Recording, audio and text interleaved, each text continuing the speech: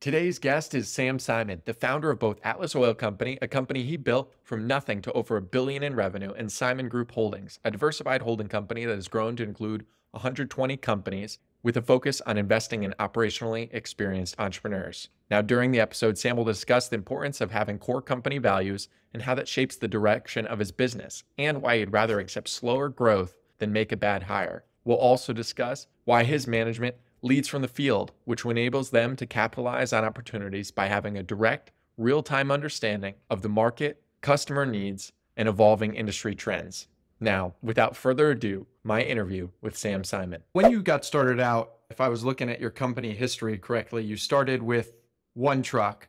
So, yes. what were some of the operational lessons you learned along the way of taking it from one truck to dealing with the biggest companies out there and pipelines and all that?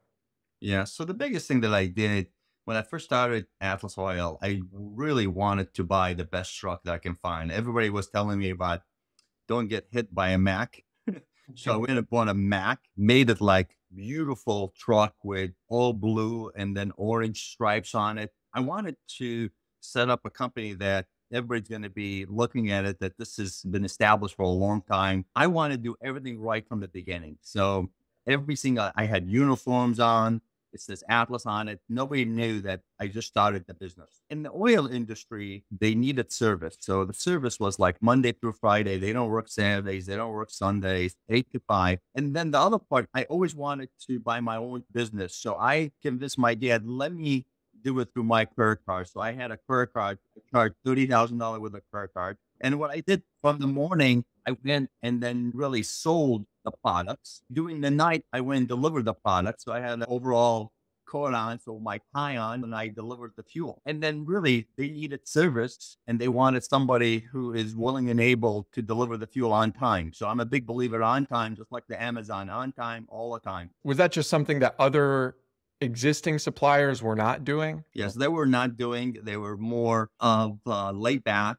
Um, in the eight to five kind of mentality. So I took it a whole new levels. I'm a big believer in the best people I can find. So I hired the, my first driver. And again, I wanted to make sure he or she had a passion. This guy had a passion of driving, loved driving, good personality, loves people. He drove in the mornings and then I used to sell in the mornings. When he gets tired at 6, 7 p.m., I used to take it on from till 2 a.m. And really, the other part that I got to tell you success is you got to work hard. I slept probably four or five years in the office to make sure that I can handle all the customers' needs. Yeah, that level of dedication and getting employees that are excited to work hard and really deliver that level of service that's not standard for the industry. Yes. How have you continued to be able to attract people like that to Atlas Oil and all the other companies you invest in? Yeah, it's never easy, but the biggest thing you got to start first is with culture. You got to have a good culture so people willing and able to come in and work with a great environment. I'm a big believer in one of our core values is passion. I love people who has passion. I don't care if you're a truck driver, you're a biller, you're a tax person, you're a salesperson. We take our time and interview the right people that wants to fit in and that's what they like to enjoy. So we take our time to make sure we hire the right people from the beginning, but we got to make sure that the team has the tools. We always love to give people the tools, the training, making sure what they're going to get into. So I'm a big believer. It's all start with people. If you have a good people, you have a good culture, you can continue to grow. And is the most important part of culture having a good team already in place and not lowering the standard? What are some yeah. of the things that make a good culture for you? Yeah, for good cultures, open communications, setting the right goals, clarity on the goals, and continue to communicate with the team. And then really be flexible with the team too. You gotta just make sure that the team understands where we're heading, having weekly reports, it's helping people, really creating a family oriented. So people needs to be part of the family. And as you're growing company, how can you keep it a family when it's so large? It's larger than any family I know of at this point. I start with every new employee comes in, I still do the culture training. So it's not as easy. Today we have over 700 employees, but you got to have a culture. So I'll be more than happy to share with you our six core values. So one is passion. You can come to work and then it's not just about work. It's about this is what you enjoy every day. So people sometimes when they're coming to work, oh my God, I got to work to doing this. But you know, when people coming in, if they're passionate, that's what they love. They don't look at it as work. So you can tell their smile, they're happy, they participate, they look at things. Second is pride and image. Mainly your quality of your work, your quality of your presentation, you prepared in the meetings, you're ready. Everybody has what I call their brand. I have a brand, you have a brand, company has a brand. So that's your brand. When you're late, when you're not prepared, when you're mumbling, this is not a pride image. The third is solution driven. So we're a big believer. There's always going to be issues, always going to be problems. With every company coming up with a solution, and I'm a big believer, is team team concept collaboration with people. And we have a lot of whiteboard. How do we solve the issues? Because you don't solve issues in any companies. Again, it's like an arteries of people getting heart attack, like people getting heart attack. They don't clean their arteries because the company's same thing. This is why you see companies goes bankrupt, gets out of business because they never handle these issues. They don't know how to handle issues. The fourth is collaboration and innovations. You got to collaborate with the team. There's a lot of good people out there that your teammates, and this is how you get best ideas, best innovations. So all of our innovations came in from our team members. But you got to have the collaboration. You got to encourage the collaborations.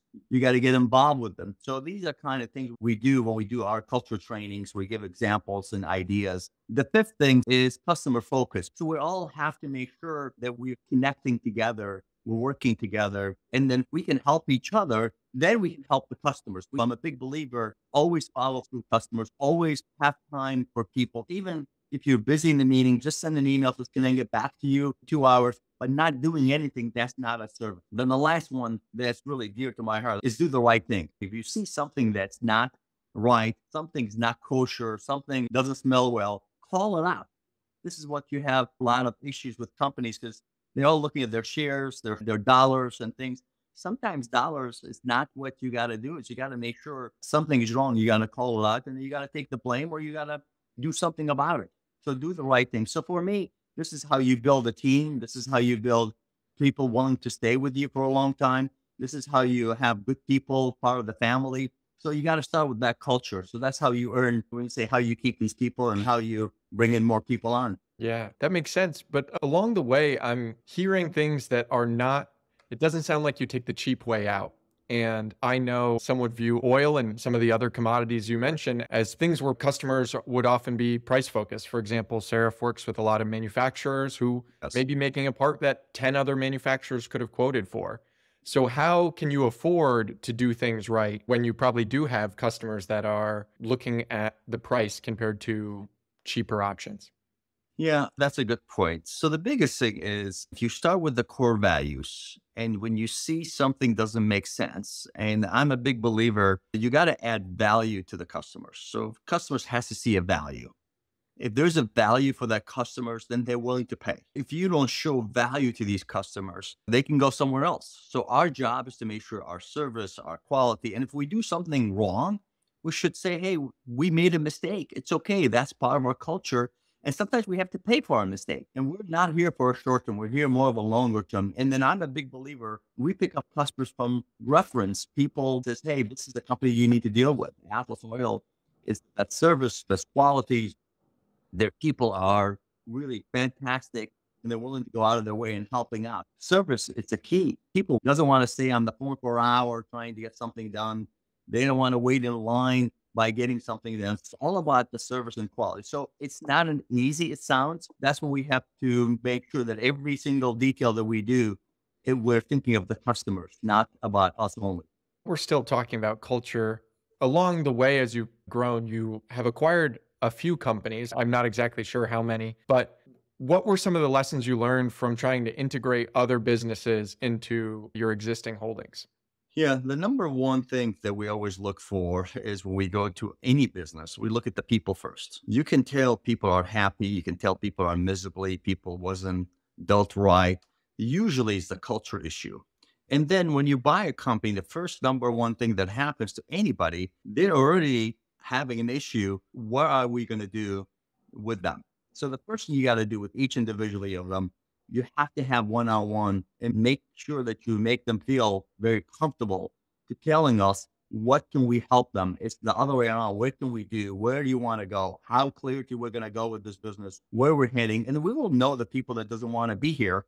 And I'm a big believer. People doesn't want to be here. We need to get them out as soon as possible because they're going to cause a lot of issues. And the people wants to be there, let's give them all the tools and let's make sure that they have everything what they need. But all starts with people first, not about the balance sheet, not about the cash flows, not about where we're heading from a growth strategy let's make sure that these people are happy. And we want to make sure that they're clear about where our goals are and where we're headed. Yeah, that makes sense. And as the goals are clear, you've built this business through multiple economic downturns.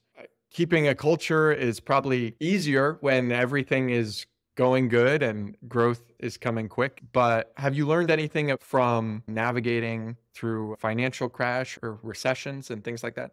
Yeah. And the number one thing, I really believe every single person wants to do the right thing. I really believe if you're communicating with the people quickly and telling them our crisis, telling them where our issues are, and getting them in the table with you instead of sending them memos or things like that. But you get people engaged, people involved, and tell them we have an issue. What can we do? Usually, the right people will help you navigate what's going on and how we get there. We all have to suffer a little bit here and there. We all have to give back a little bit. Some people says, "Hey Sam, instead of working five days, I can work three days, but I want to keep my job." Hey, somebody says, "You know what? I have a little bit more money. I want that person to work a little bit more than me." But I think it's bringing the team together and being honest to them and being frank with them. Tell them, "Here's our issue.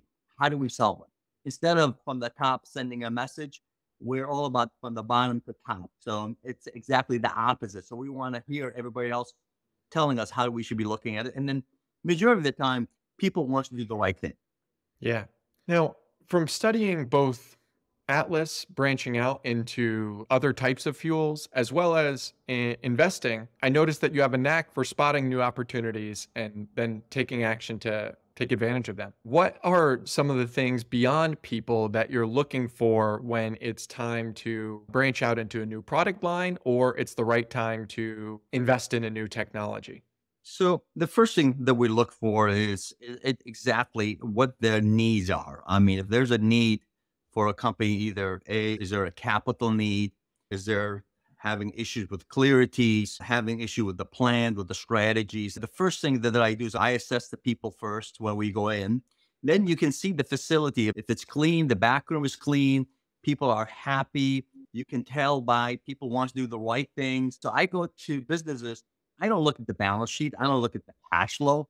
First of all, I go look at the building, look at the facilities, look everywhere on. And I'll tell you, I can tell either they're going to be successfully or they're not. Besides before I can even see a balance sheet, before I can see a cash flow, because you can tell either they're clean, their facility is ready. You can see when you're walking down just the warehouses, you can see people are happy. And the other part, when we talk about businesses, it's really understanding what exactly the market there can end up can help you grow the business. So there's so much growth strategy, but these people either they got hammered in not enough capital, they don't have the right tools, they don't have the right equipment. So my job is to really opening up to the team to say, what do we need to grow the business? What are we missing? What tools do we need? It's as much as simple as that. But believe me, a lot of big corporations, it's all about the budgets. It's all about dollars, all about cents. They forget about the people and strategy, and then the people makes the business worse. On some of these new technologies, like when you started embracing other types of fuel, what motivated that change? Was that something that your existing customers were asking for? You saw that opportunity? How do you decide when to say, let's keep investing in what we're currently doing, or we need to actually people and money to doing something New. So I'm all about the front line. I call the front line. Front line is the drivers, the tech people, the maintenance, all the front line who's doing the day to day. So the front line knows exactly what customers are having issues, problems, what they need to get done, what they're missing. And then you have a session with them. They come back to you. So I'll give you one example.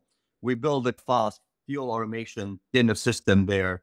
And then the fuel automation, it came in from an engineer who was in the field and says, look, these people, they have to shut down the frac business every day when they get the fuel. we need to build something that they don't have to shut down. It costs millions of dollars and they need information, but there's pumps and everything else. So this guy says, look, Sam, I have an idea. Here's how we can solve these issues.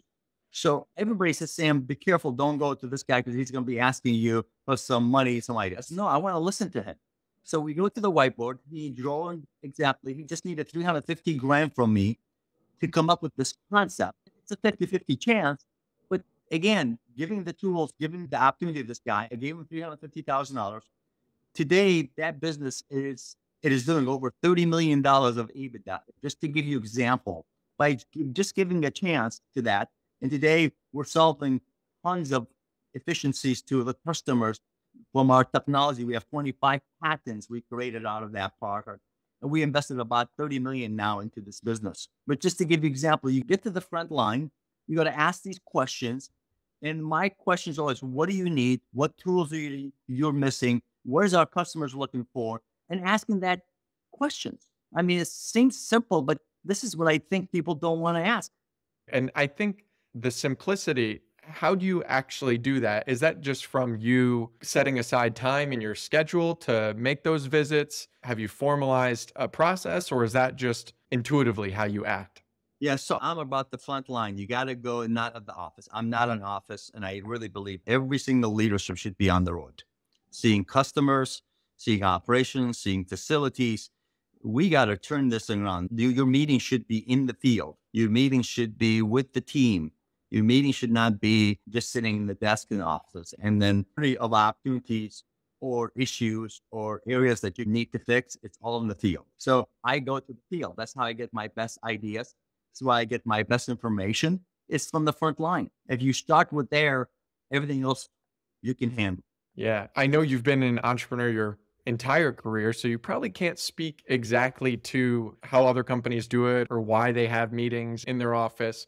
But as you've built a culture where people have these meetings in the field, how do you manage what other companies typically do in their office? Are you doing conference calls or is it just your company structured in a way where the decision making is decentralized, where it's out in the field where those decisions get made? Yeah, there's going to be times you need to do the office stuff and things like that. I really believe the paperwork accounting, the paper day to day accounting, even accounting, if you want to have a good accounting controller, don't you think a good controller should be in the field, understanding how these people having issues sending paperwork in, how they look at the customers, how they see everything else. When you come back, you're organizing your team behind the scene to make sure that there are certain things we could do it easier and better for the field, and the field can do it easier or better for the county. So, as much as I can tell you, office, it's once in a while you have to do it for a different reason.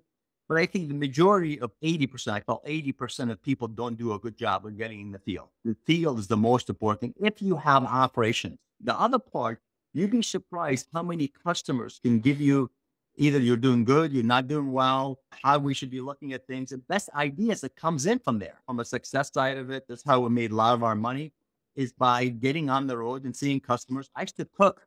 I used to go and cook spaghetti with some of the construction companies because this is how you get all these people from the dispatch. Also, they will tell you what the issues are from the competitive side of it, from a standpoint from our side of it. This is how I got better. Yeah.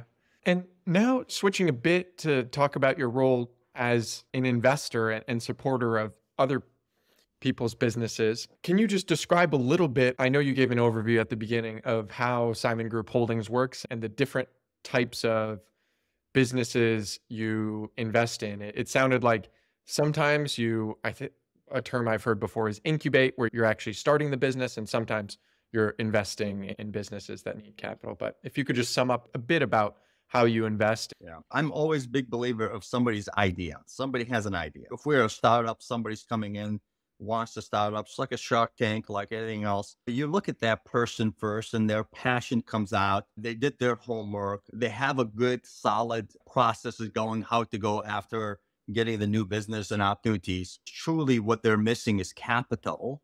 And they're missing some advice and strategies and some things behind the scene. And then if these people have a drive, I'm a big believer of hunger and the drive behind it I'm willing and able to give people chances because somebody gave me that chance. So I look at it that way. And then I really want to take my time to make sure that they're solid in their business plans and things like that. And what tools do I have to give them to help them out succeed? So again, I call it connecting the dots. Where's my connecting of the dots? It's all about relationships and people, all stuff. If I can help him connecting that dots that he doesn't have, again, there's another tools that I can give him. So that's part of my investments when I look at the people. The other part of it, if we're investing in a company already existing side of it all, I got to make sure what do they need from me. So if there's nothing I can help, I'm just an investor. There's really nothing I can do. So I'm always looking at somebody that needs our tools, our passion, our strategy, and then helping them out with growth strategy from a capital, from backroom, from a strategy. Then we can figure how do we can grow that business? And then I believe one plus one equals 11. How do we add additional than just one plus one equals two? Yeah, I love that. I'm definitely going to steal that line. And so, what are some of the core skills? Atlas was very operationally intensive. You've talked about culture, being on the front line. What are some of the other things that you can bring to a business you're investing in? Mainly clarity and focus. There's a book by the name of Jim Collins from Good to Great book. The other one, Gino Wickman just created tools. It's the tools concept. There's a tools that you use. Mainly what the tools is understanding you work on it through a quarter by quarter. It's setting a goal, setting a strategy, focusing on no shiny stuff so there's a process you go through the process. If you learn it from a young age, and then you learn bringing some nice coaching with you. And these people help me have that clarity because sometimes a good entrepreneurs are all over directions. They're just running so hard, but they forget you still have to have a process. You still have to have good tools behind you and make sure there's a measurement, there's a good KPIs, there's a good systems that you know you're heading in the right direction. So that's the tools that we bring into the team to help them out. Because, you know, I wish I had the tools when I first began. I was running exactly like them, all the mistakes that I made. So today we're helping these entrepreneurs, hopefully having the right tools so they don't miss the opportunities that they need to do or clarity. They're not going after shiny things. That was not their plan. Keeping them focused because, you know, you're energized, you're hungry, you have a passion. Sometimes shiny stuff can get in the way. Yeah, with passion, you can definitely get excited easily. It happens. It happens. So we bring in the tools. That's what we bring into the table. We bring in all the experience that we have. And we've been operating. So I was an entrepreneur. I took risk. So it's not just I'm just a private equity. So I have more than just private equity. I have all this operation and background that I can bring to the table. Yeah. So I had made a lot of mistakes. I made a lot of mistakes. So hopefully I can help them, show them. And if they listen, it's great, but sometimes not everybody listens. My job is to have them focus as much as I can and to help them out with connections, with the strategy, and make sure that they know if they need anything, I can help them. Yeah. I find that I personally, I sometimes listen, forget, make the mistake again, and then remember. And then I've learned the lesson. Speaking of that, what are some of the biggest lessons you've learned from your career? Has there been anyone that's really helped you shape your approach to business and leadership? Yeah, don't compromise hiring the right people. When I say the right people, not the most talented people, not the most PhDs. Make sure that the job needs certain people. Make sure you stick to your game. This is what we need from that person. You have to have the right DNA for different reasons. And I'm telling you, when you rush it, when you're trying to just plug in a person in there, majority of the time we made a mistake. So that's we, we can't comment. Sometimes you're going to have to say the growth has to slow down. We can't just bring in these people in because they're going to cause a lot of issues. So I rather say, hey, I'm here for the long run, not for a short run. It's important to get to that. Second side of it, COVID happens, 911 happens, shit happens. And you got to make sure you have enough good balance sheet or good cash when you can get it. Don't spend it all. Don't go so much in debt. I always say to people, cash is king. Make sure that that if you're not clear on your vision, on your strategies, then you got to make sure you have a good survey from your team and what I call 360. Make sure everybody's aligned, that they all understand exactly. When they're not aligned, you'd be surprised so many people go in different directions. And we believe that sometimes we think they're heading in the right directions, but you find out that they're not. So let's make sure, double check, triple check, whatever you need to do, make sure everybody's aligned with the clear goal. Yeah. Having the right person in the right seat, the first one that you mentioned, Is that about really making sure that you have a good job description and you stick to it? Does the problem go that you're sometimes putting people who have different career aspirations in the wrong role? What are some of the mistakes that you actually experienced to learn that lesson? I think you said it well. First of all, make sure the job description is clear. And the second, the goals is really very clear too. So the goals and the clarity is all stuff. The other parts that I see sometimes is training. Make sure you train these people because you don't want to rush it. Because sometimes they're just trying to put people, they need a seat to fill. They just bring them in. And the problem is we're the fault, not the person. We didn't give that person a chance from a training, give them the right tools, make sure they understand our culturally well, make sure they understand the job well. If you have the wrong people in the seat, think about what happens. So many mistakes happen. Our customer's not going to be happy. Our team members are making mistakes all that stuff because we didn't do our job. So again, all starts with that right person in the right seat. And then make sure your job descriptions have to be clear because sometimes you bring in more talent. That job doesn't need that talent. It needs communications. It needs spending time with people face to face. So it depends on everything else. And again, majority of the companies rush us because they just need to fill a seat. I wish it was like a, you had a magic wand. Here's a magic wand. You can fill it. And that's when we learn a lesson. This is the number one thing you got to do. And then sometimes you have to slow the business down. I hate to say it because you don't want to just have a seat filled just because we have to. Yeah, it's interesting. We're recording now in 2023. I know a lot of manufacturing businesses, service businesses are really having a hard time attracting people, and they're doing a lot of different strategies to try to bring people in. Also, at the same time, a lot of tech companies over the last year, they had hired a bunch of people and did massive layoffs because either they had tried to hire too fast or they may, maybe realized they had hired the wrong people and their culture wasn't maintained. So that's yeah. definitely a challenge a lot of people are thinking about. So now is one of the times where talent has been harder to get in the last year. Are there any specific things you're doing besides being patient to try to bring uh-huh. people into your company?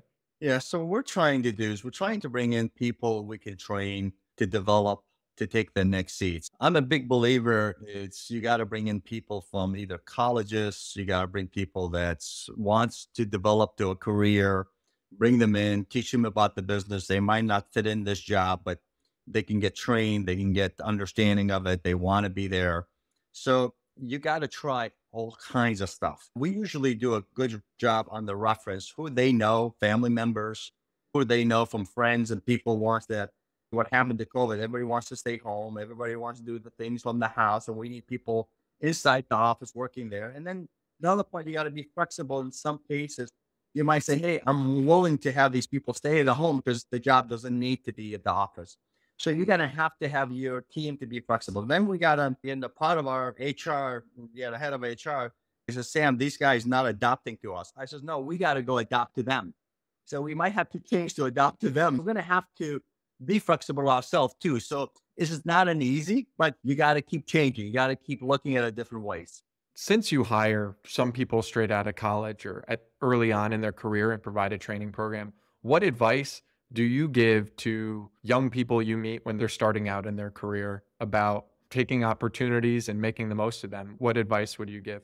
So the first thing I always tell the people, where do you want to go? Where do you want to be in five years, three, five years? Not just how much money you want to make now. You got to think about your career. Where do you want to be when you grow up? You want to be an entrepreneur?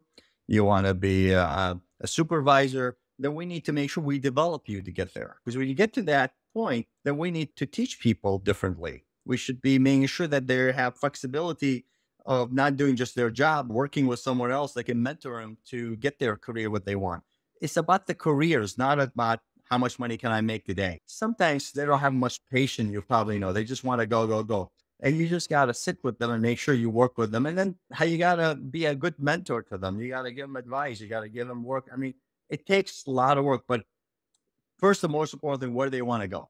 I had a person says, I want to be an entrepreneur. I said, okay, are you willing to take risks? Are you willing to work hard? Are you willing to do certain things? He says, yes. I said, okay, then let's work through that process. Well, I think that's a good place to leave it. I definitely learned a lot. I really liked your six points for culture. Uh, I'm definitely going to be reviewing that afterwards. So thank you so much, Sam, for for joining. I appreciate us. it. Well, good luck. Appreciate it. Have a good one. I'm glad Sam was able to join me today. In Seraph's work with manufacturers, we found it to be essential to solve challenges on the shop floor. And it was great to hear Sam emphasize the importance of leaders being on the front line in operational businesses. Manufacturing Excellence is produced by Seraph Consulting. To learn more about us, you can visit us at seraph.com or on LinkedIn at Seraph Consulting. Seraph is a specialized global strategy and operations consulting firm that partners with business leaders to handle their most complex supply chain, operations, and manufacturing challenges. Leaders from across the globe come to us to solve their immediate problems and capture their biggest opportunities. We deliver long term operational improvements by working with leadership teams, plant floor to the boardroom, enabling our clients to transform their entire manufacturing operation. If you learned something from this, conversation and want to make sure that you're able to hear future episodes down the pipeline, make sure to subscribe to this wherever you listen to podcasts. Thank you for listening, and I hope to see you on a future episode.